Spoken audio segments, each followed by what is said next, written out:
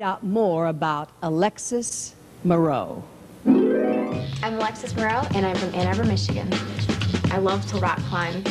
That's something that I love to do. You really have to put your mind to it and be like, I'm gonna get to the top. And once you get there, you just feel like you've accomplished so much. You're just like, wow, I did it.